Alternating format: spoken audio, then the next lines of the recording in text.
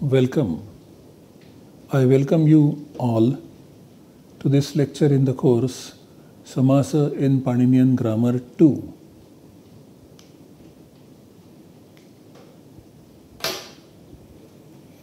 As is our practice, we begin our lecture with the recitation of the Mangala Charana. विश्वेशं सच्चिदानन्दं वन्देऽहं योऽखिलं जगत् चरीकर्ति बरीभर्ति सञ्जरीहर्ति लीलया विश्वेशं सच्चिदानन्दं वन्देऽहं योऽखिलं जगत् चरी करती बरी भरती संजरी हरती लीलया। In this course we are focused on the अव्ययी भाव समास द बहुव्रीही समास एंड द द्वंद्व समास right now we are studying the अव्ययी भाव समास अव्ययी भाव समास is an extremely important type of samasas in Sanskrit. And the structure of this samasa can be represented in the form of a simple equation mentioned on this particular slide. If you have x and y, both independent entities, separate entities in terms of word form as well as meaning as well as accent, the speaker of Sanskrit decides to merge them and generates the compounded entity called xy. Now, the input was two units, independent and separate, yet interrelated. Output is one unit, which is made up of the input units. However, the output is related to the input. It still works as or functions as one unit so that when this output is used in the sentence it will be used as one unit now to show the interrelation of the constituents with the generated output we have used the bold characters and we have made x as bold which indicates that when this xy is used in the sentence, x acts as its head in terms of the word form as well as the meaning also. This samasa is called avyayi bhava and invariably x is an avyaya. And so, Avyayi Bhava Samasa is also termed as an Avyaya by the Sutra Avyayi Bhavascha. This is how Avyaya determines the overall formal nature of XY and also the meaning of X, which is an Avyaya, which plays an important role in determining the function of xy as one unit. These are some of the features of the Avyayi Bhava Samasa. In the Ashtadhyayi, the Avyayi Bhava Samasa is treated in various sections. The Samasa Vidhayaka Sutra namely the compound prescribing sutras, they are stated in 2.1, specifically from 2.1.5 onwards up to 2.1.21. And 2.1.21 is Anya Padarthecha Saudnyayam. This is a small section of rules which prescribes the conditions for an avyayibhava samasa to take place. Incidentally, 2122 is Tatpurushaha and the Tatpurusha samasa is prescribed from 2122 onwards, which we have already dealt with in the first course on samasa. Now, from 54107 up to 54112, this is another small section in which the Samasanta Pratyaya is stated. So these are the sutras stating or prescribing the Samasanta Pratyaya. So they are called Samasanta Pratyaya Vidhayaka Sutra. And then there are some sutras which talk about the swara of the Avyayibhava Samasa. For example, 6 to 121. Right now, we are studying the Samasa Vidhayaka Sutras stated in 2.1. We have already studied some sutras earlier, starting with Avyay Bhavaha and Avyayam Vibhakti, etc. And now we are focused on 2113, which is Ang Maryadabhividhyoho. Ang Maryadabhividhyoho. There are two padas in the sutra, Ang as well as Maryadabhividhyoho. Ang is 1 slash 1 of Ang. So this Prathama Vibhakti ensures that this word Ang gets the term Upasarjana and then by the Sutra Upasarjanam Purvam, this term Ang occupies the initial position in the Samasa. The second pada in the Sutra is Maryadabhividhyoho. This is 7 slash 2. It means in the sense of. In the sense of Maryada and Abhividhi. Maryada and Abhividhi. Now, both Maryada and Abhividhi denote boundaries. There are different subtypes of boundaries with some difference as far as the shade of the meaning is concerned, which we shall see in a while.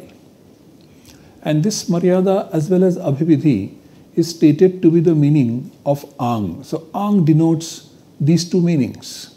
Ang also denotes some other meanings, but when only these two are stated, Ang, as far as this sutra is concerned, gets compounded.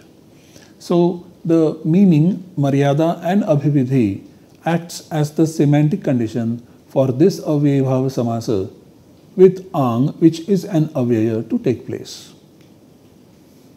So what is maryada? Maryada is a boundary but what you mention is not included as boundary. So it is a boundary without. Tena vina. For example, we may say that Bangladesh is the eastern boundary of India. And uh, Bangladesh is obviously not India. So Tenavina and Abhividhi is a boundary which is within. So Tenasaha. In the same context, we can say that the West Bengal is an eastern boundary state of India. Now, West Bengal is part of India and it is part of the eastern India. It is also on the boundary, but it is part of India. So, when we say Abhividhi, we are referring to a boundary which is part of it. So, probably we are referring to West Bengal, which is part of India. And when we intend to denote the meaning Maryada, Tenavina, we say, like Bangladesh is the eastern boundary of India. These are the concepts of Maryada and Abhividhi. This is an explanation, nuanced explanation of the concept of boundary. Now, there are some words which are continued in this sutra from the previous one. Avyayam is continued from 216. Sahasupa, two words are continued from 214. Samasaha is continued from 213. Avyayi Bhavaha is continued from 215. Samartha Padavidhi is continued from 211. Vibhasha is continued from 2111. And Panchamya is continued from 2112. Having put all these words and their meanings together, the meaning of the sutra emerges in the following manner. An avyaya subanta, ang, which is a actually in the sense of maryada and abhividhi is compounded with another semantically related subanta ending in Panchami optionally and the resultant samasa is called Avyayi Bhava. I repeat, an Avyaya Subanta, Avyayam Sub, Ang, and the word Ang is taken from the sutra itself, and Ang means A, the preverb or upasarga A. Just as you have it in Gachati and Agachati, this A is the Ang in the sense of Maryada and Abhividhi, Maryada Abhividhyoho is compounded, Samasyate, with another semantically related Subanta, Samarthena Subantena Saha, ending in Panchami, Panchamya, optionally Vibhasha, and the resultant Samasa, Samasaha, is called Avyayi Bhava, Avyayi Bhavaha. Now, in this case, we must note that there are these following two sutras which also play an important role in the understanding of the meaning of 2113 and they are 2310 and 1487 together. The application of these two sutras forms a precursor, forms, forms a base for the application of to 113.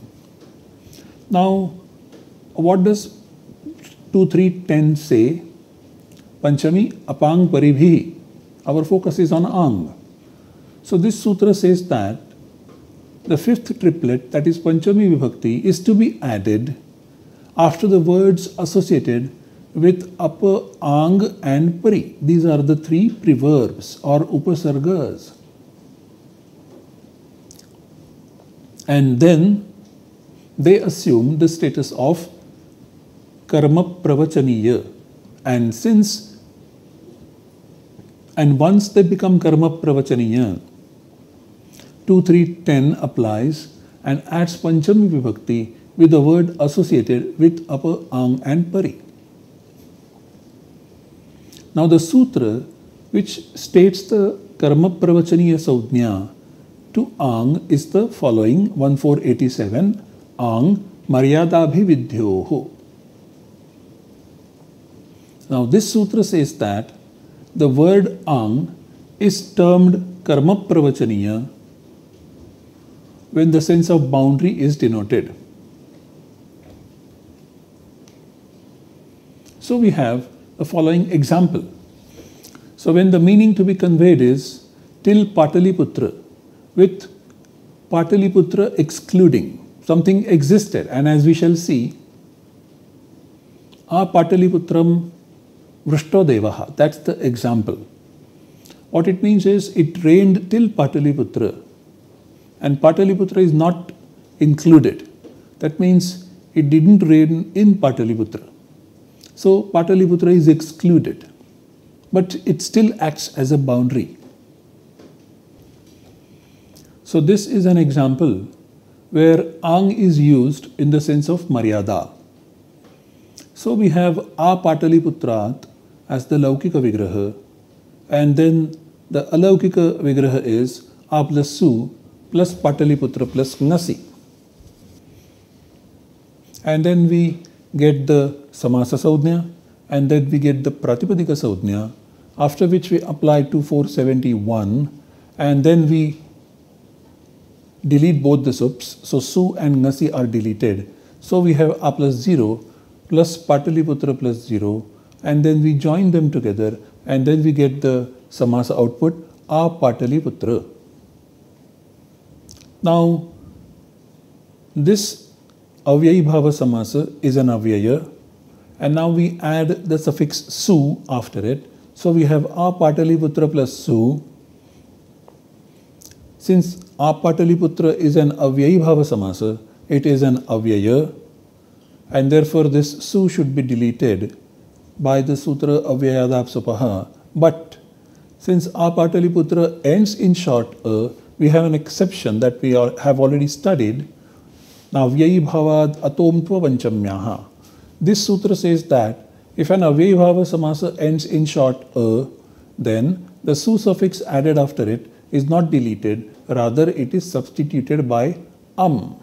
So we have a pataliputra plus am, and then the sandhi takes place, and we get the form a pataliputram. And we use it in the sentence in the following manner. We say a pataliputram vrishto devaha. A pataliputram Vrishto Devaha. It rained till Pataliputra, with Pataliputra excluding. So it didn't rain in Pataliputra, but Pataliputra forms the boundary of a region in which the rainfall happened. So, in the sense of Maryada, Ang is compounded here. Now let us look at the example of Abhividhi. When the meaning to be conveyed is till the boys, the Laukika Vigraha which conveys this sense is Akumarebhyaha. So we have a sentence Akumaram Yashaha Paninehe. The fame of Panini has reached till the boys and including these boys. Now, here is the sense of Abhividhi, uh, an expression which denotes the border with inclusion, we have Akumarebhyaha as the Laukika Vigraha. And then this is converted into an Alaukika Vigraha, A plus Su plus Kumara plus Bhyas. And so we have the Samasa Saudhnya taking place, and then we have the Pratipadika Saudhnya taking place, and then the sutra supodhatu pratipadikayoh applies which deletes both the sups. So we have a plus 0 plus kumara plus 0 and so we get a kumara as the finally derived compound output. Now after this akumara, when we use it in the sentence, we add the suffix su. So we have akumara plus su. And now akumara is an avyabhava samasa. So it becomes avyaya by the sutra avyayi bhavascha. And then when akumara plus su happens, this su should get deleted by avyayad apsupaha. But there is an exception which says that if the avyabhava samasa ends in short a, then this su is substituted by am. And so we have akumara plus am as the next step. And when we join them together by sandhi, we get the output in the form of akumaram. And then we use it in the sentence like akumaram yashaha paninehe. The fame of Panini has reached the boys. The boys including, that means each and every boy knows who Panini is.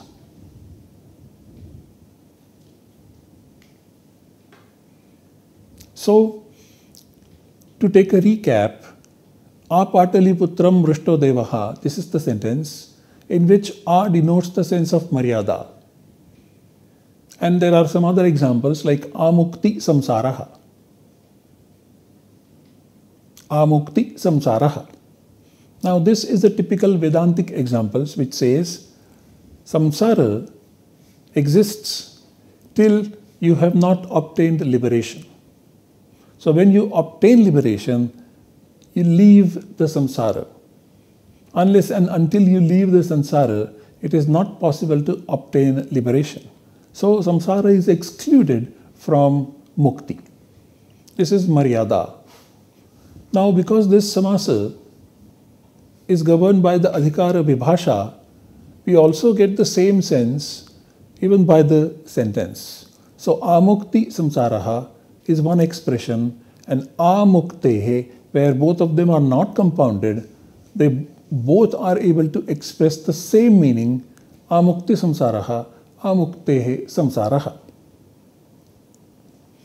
Similarly, akumaram yashap paninehe, in this case, R denotes the sense of abhividhi. The other example of this is Abalam Haribhaktihi, where Haribhakti is so famous that it has also reached a bala, a child, including, that means even a child who has not gained too much maturity is also a devotee of Hari. A balebhya and abalam Hari Bhaktihi. This is what is stated by this particular sutra. Amukti samsaraha amuktehe and abalam and abalebhya.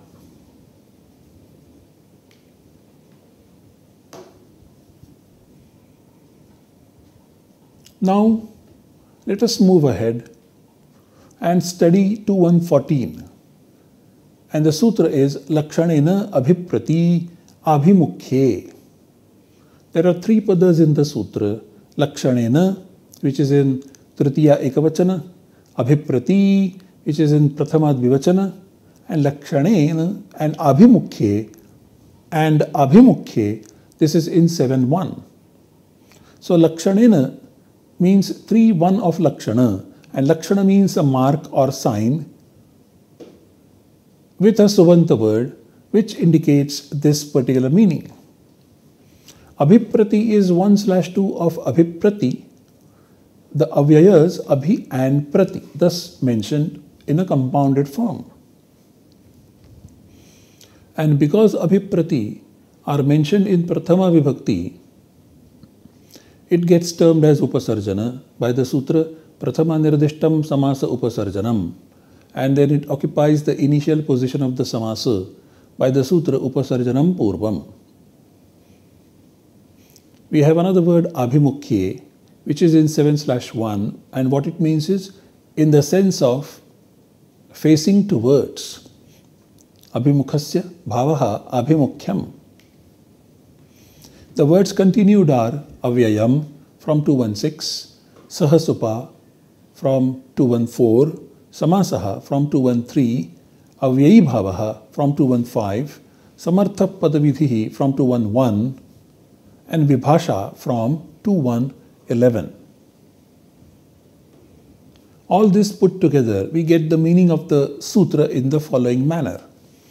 An avyaya subanta, abhi and prati, is compounded with another semantically related subanta, which indicates a mark or sign, and when the meaning facing towards is denoted optionally, and the resultant samasa is called avyayi bhava.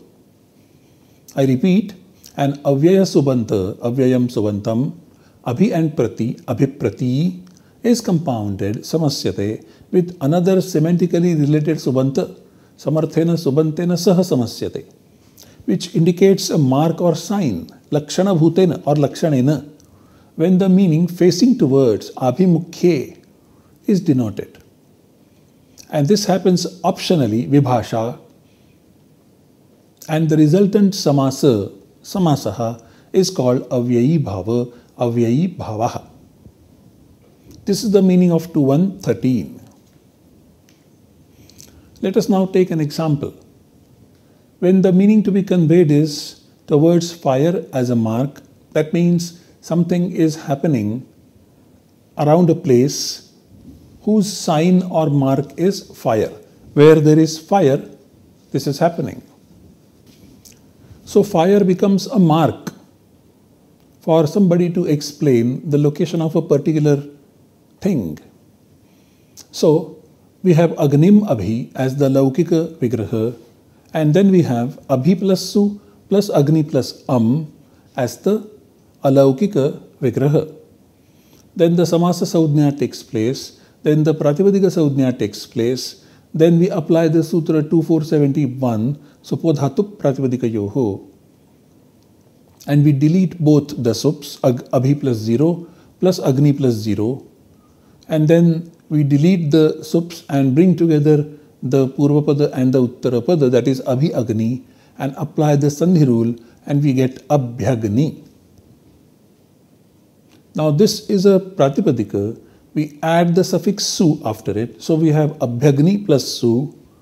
And here now, Navi Bhavad Atom Swapanchamyaha doesn't apply because this Avibhava Samasa does not end in short a. Then by the Sutra Avyayad Apsupaha, the Su gets deleted. And so we have just Abhyagni as the Subanta form of Abhyagni. It is used in the sentence Abhyagni Shalabha Patanti. The moths are falling towards where fire is. So, fire is the Lakshana, fire is the mark of the action of falling of these moths. Now we go to the next sutra. Now we go to the next example, which is towards fire as a mark, which is the same meaning. And the same meaning is expressed by the Laukika Vigraha Agnim Prati. The Alaukika Vigraha is Prati plus Su because Prati is an Avyaya. And this Prati is mentioned in Prathama Vibhakti in this particular sutra. It occupies the initial position of this samasa. So we have Prati plus Su plus Agni plus Am and then the Samasa Saudhya takes place. Then the Pratipadika Saudhya takes place. Then we apply Supodhatu Pratipadika Yoho and then we get Prati plus 0 plus Agni plus 0 and then finally we join them together and make the Sandhi necessary and get the form Pratyagni. When this Pratyagni as an output Pratipadika becomes part of the sentence, it takes the pratyaya su. Pratyagni is an avyayi bhava samasa, so it gets termed as avyaya by the sutra avyayi bhavascha, and therefore the su suffix added after pratyagni is deleted by avyayadap supaha, and then we get the form pratyagni. And it is used in the sentence like pratyagni shalabhavatanti the moths are falling towards where fire is. So fire becomes the lakshana or the mark of the action of falling of moths. In both these examples, the question is what is the mark of moths falling? What do they do and where do they fall? Yad uddishya gacchati tal lakshanam bhavati. So this mark in these two sentences is fire. And the other important fact is that the moths are also facing it. Agnim lakshikritya abhimukham patanti. They still fly towards the fire. Now when we say Sragnam Pratigataha, he returned to Sragna. Even though Abhimukhya is intended, and the word prati is used, the third condition, namely lakshana, is not fulfilled. So, srugna is not the lakshana of the action of going. As the intended meaning is, he started to go to Mathura, and due to the confusion in the directions, he returned to Srugna. When that is the meaning, Srugna is not the Lakshana. So the compound does not take place in case of Sragana and Pratik.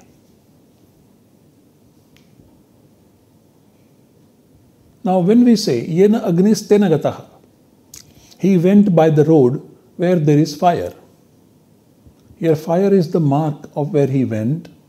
He is also facing the fire, but the words Abhi and Prati are not used in the sentence. And so there is no compounding.